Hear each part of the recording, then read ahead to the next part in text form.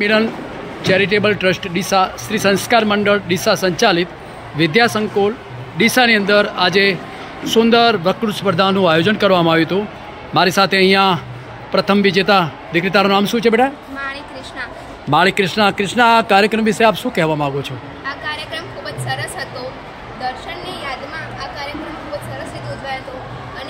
આ કાર્યક્રમનો હેતુ વક્તૃત્વ સ્પર્ધા હતો. જેનાથી બાળકોમાં સુષુપ્ત રહેલી તેમની શક્તિઓ બહાર આવે અને વિકસે મંચ પર બોલવું એ કંઈ સહેલું નથી.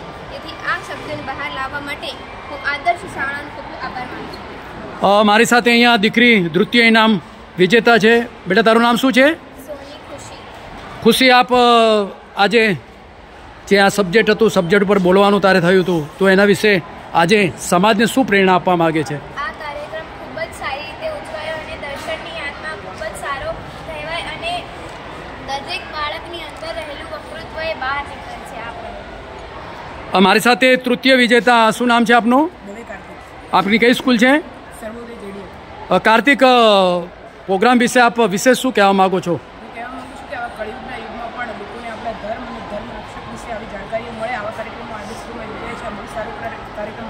બધા સ્પર્ધકો બહુ સારું બોલ્યા. જે લોકોના નંબર નથી આવે એ પણ બહુ સારું બોલ્યા. બધા જ મારી સાથે અહીંયા જે નિર્ણાયક બેન શ્રી છે બેન આ બાળકોને શું શુભેચ્છા પાઠવવા માગો છો?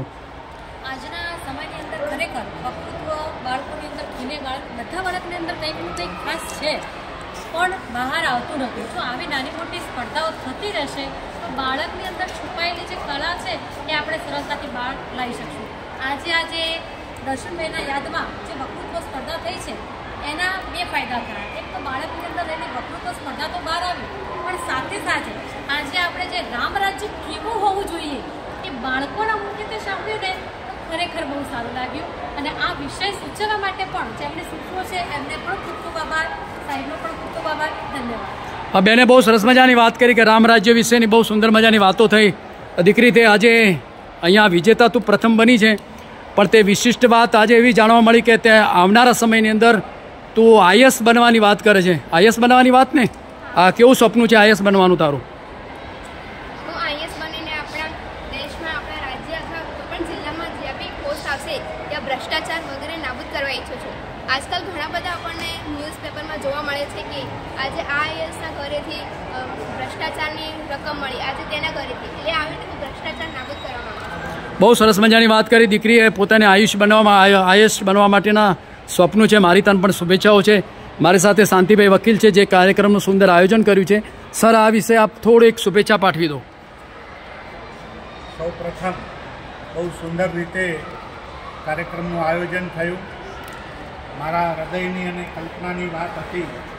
એ રીતે તમામ સ્પર્ધકોએ સુંદર રીતે ભાવથી, હૃદયથી જે વાતો કરી અને એમાંય સમગ્ર સ્કૂલે, આદર્શ વિદ્યાલયના તમામ સ્ટાફે અને વ્યવસ્થાપકોએ વિષય પણ વર્તમાન સમયમાં બધાના મુખે એક જ વાત હોય છે, રામ મંદિર. અને એના જ અનુલક્ષી રામ રાજ્યની વાત કરી. મારી બાજુમાં જે બેઠા હતા ડાયસ ઉપર, અજયભાઈ કે લીલાધરભાઈ, દિલીપભાઈ વગેરેને મેં કહ્યું કે આપણા કરતાં પણ આ બાળકોની કેટલી સરસ સુંદર વિચારધારા છે. બાળકોએ ખૂબ સુંદર રીતે વિષયને ન્યાય આપ્યો છે. તમામ બાળકોને હું ખૂબ ખૂબ શુભેચ્છાઓ પાઠવું છું અને એમના જીવનમાં ખૂબ આગળ વધે એવી હૃદય મારી શુભેચ્છા સરસ મજાની વાત કરી સાહેબે પણ. બહુ બધા શુભેચ્છાઓ બધાએ પાઠવી છે. જય જય શ્રી રામ. જય જય શ્રી રામ. જય શ્રી રામ.